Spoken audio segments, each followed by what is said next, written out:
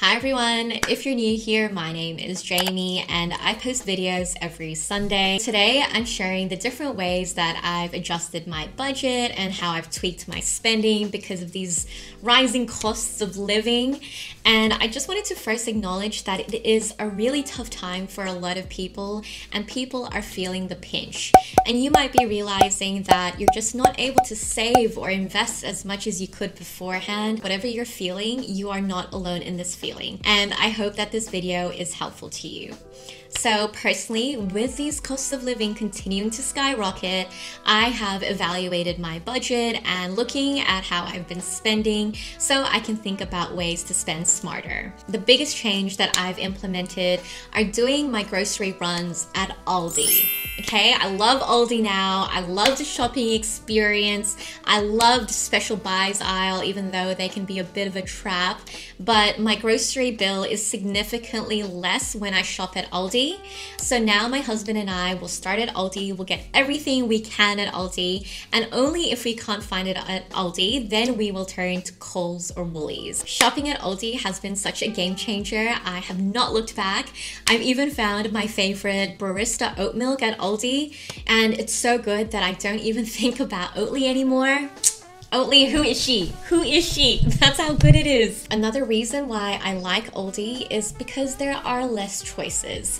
I know that sounds odd, but sometimes with so many choices at like Coles or Woolies of different brands, I can become very overwhelmed and Aldi just kind of narrows it down for you. It's great.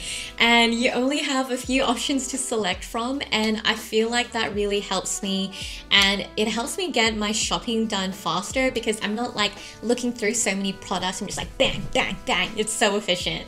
So if you don't already shop at Aldi, get on it and let me know about how much you save because I am definitely feeling the difference compared to when I used to shop at Woolies or Coles. Another big change that I implemented was to change my telephone provider. So I was previously with Vodafone for years and years, and I was on their $45 red plan, and that gave me 40 gigs of data and also unlimited calls and texts, but that is very standard now. And they had notified me earlier this year saying they were going to change my plan to be like $50 a month. So they were increasing it by $5 a month, and I would receive an additional 40 gigs of data. And when I got that notification, I was kind of thinking to myself, 80 gigs of data i do not i don't need that much and i'm not thrilled about spending an extra five dollars a month for something that i absolutely do not need. So i feel like that was a huge trigger for me to think about other telephone providers out there. And after I did a lot of research, I had found that Moose Mobile had a lot of positive customer reviews at the time of my research. And I went through their process, I signed up online, I got the SIM card mailed to me, and I was able to keep my mobile number, which was my biggest concern. And the whole setup literally took me like three hours. I, you know, lost service for three hours while they were doing their magic and swapping my number from Vodafone to Moose Mobile. Moose Mobile also uses the Optus network, so I get better coverage anyway. And I honestly don't know why I put it off that much. I had always thought that it would be like such a big operation, that there would be issues in terms of keeping my mobile number. I don't know why I had like these myths stuck in my head. Um, and I wish I had done it sooner because I definitely could have saved quite a bit. So if you're looking at ways to cut down on fixed expenses, and by fixed expenses, I mean things like your rent or your mortgage or your bills, I think changing your telephone provider is a great way to save. Another thing I'm more mindful of these days is avoiding takeaway lunches when I'm working in the office. It can be extremely tempting because I work in the CBD and there are so many food options, but it's definitely more of a rare occasion for me to buy lunch and I definitely just bring in my leftovers or bring in something that I've prepared that I can easily heat up in the kitchen. And if I do have to buy out, let's say I was really exhausted the night before, I will opt for cheaper options like sushi for 7.50 or soup and a bread roll from Soul Origin for like 9.50 or a chicken teriyaki lunchbox for $10.50. You see how these prices are memorized in my head?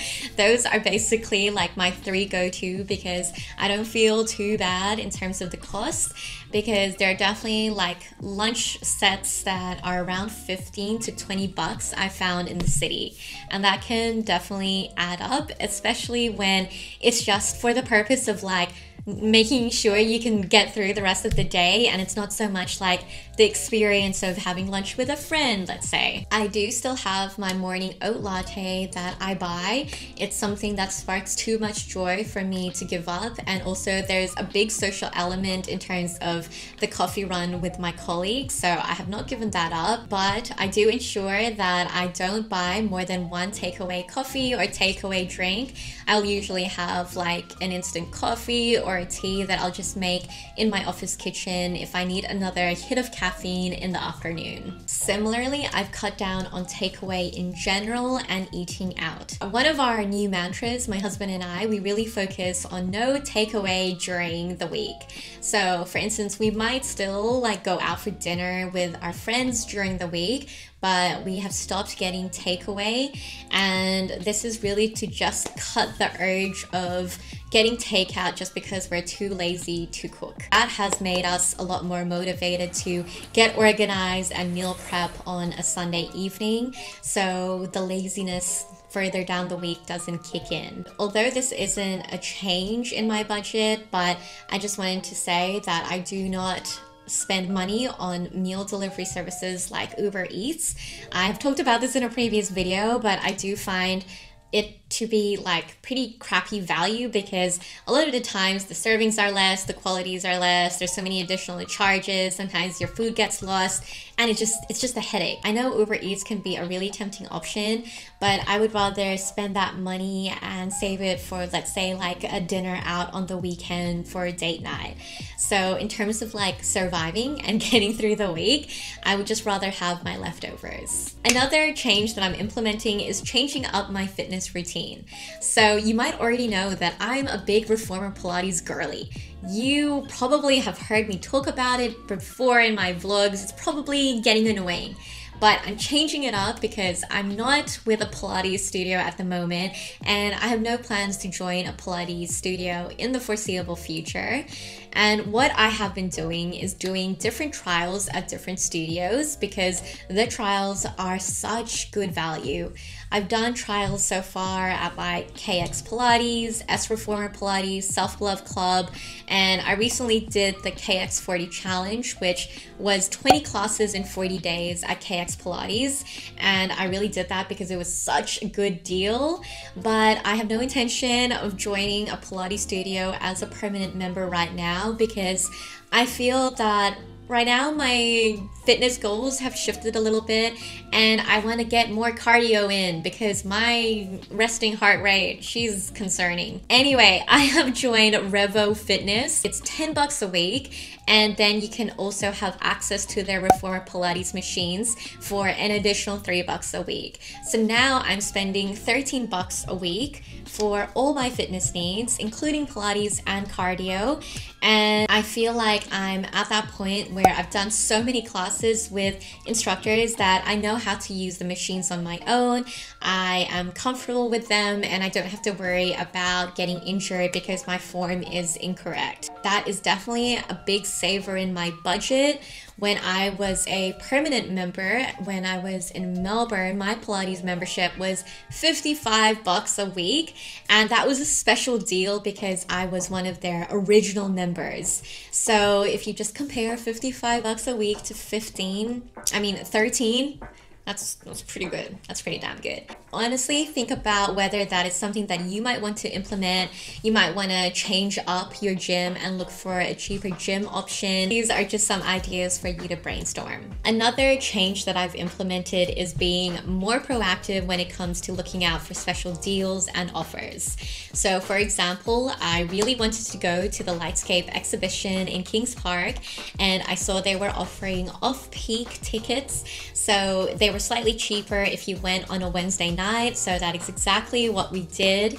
And before then, we also went out for dinner at a restaurant that offers two for one burgers on a Wednesday night, which was perfect. This was Henry M's in Manning, by the way. And another example is using my health insurance for discounted movie tickets for movies that I really, really want to see in the cinema. Those are things that maybe I couldn't have been bothered about before, but I'm a lot more mindful now because I'm like, ooh, what, where can I save? And what are the specials going on? In terms of social activities, I think about budget friendly ways that I can spend quality time with my friends.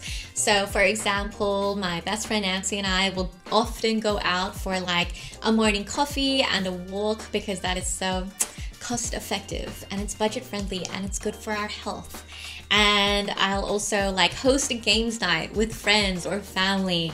That is a really good way in terms of saving money, and people will just bring snacks and I'll just offer drinks, and it's really not too much on the wallet. And as you might have seen in my vlogs, I regularly invite my friends over and I'll offer to make them like a matcha or a hojicha latte for them where we can just catch up in my home.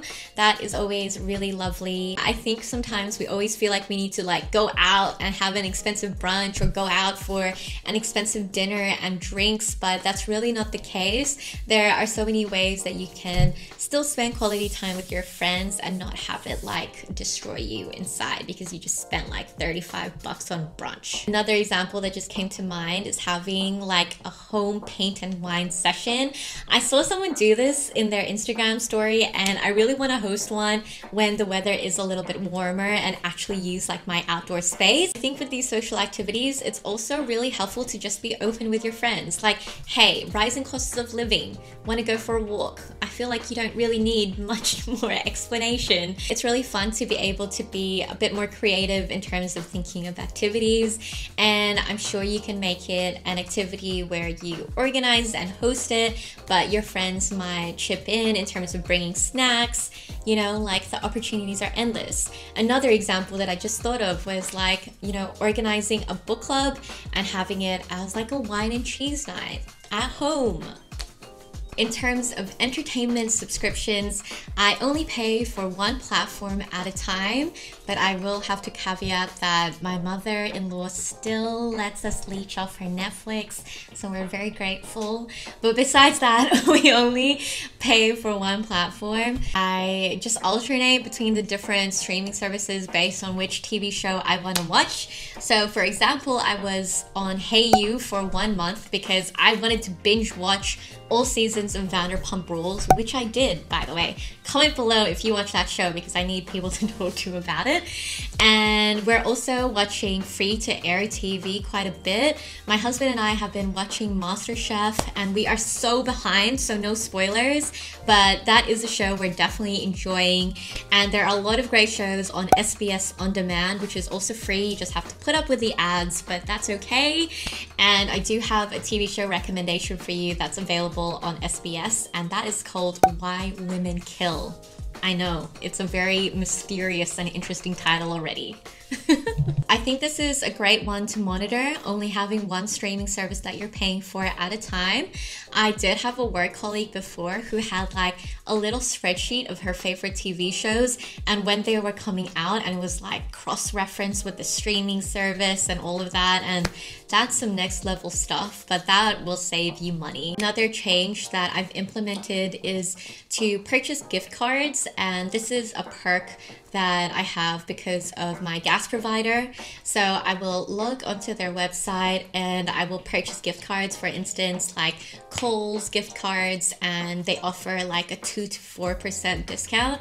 So, for example, using a gift card instead of my credit card, I can get my $100 grocery bill for 96 bucks or 98 bucks. I know that seems like such a small number, like what's the point?